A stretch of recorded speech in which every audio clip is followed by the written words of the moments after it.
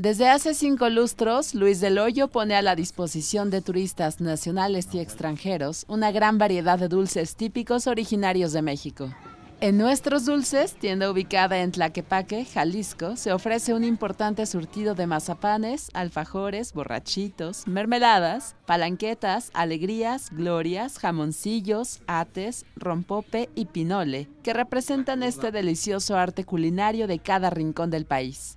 Su inquietud por rescatar el colorido y sabor del dulce ancestral mexicano viene desde su infancia, luego de que su abuela, de origen zacatecano, dedicara su vida a la creación y producción de estos deliciosos productos. Nosotros vendíamos dulce en, Navidades a la gente conocida, hacíamos los mazapanes de almendra, de macadamia, de nuez para venderle a las amistades. No había una tienda de, de dulces en México.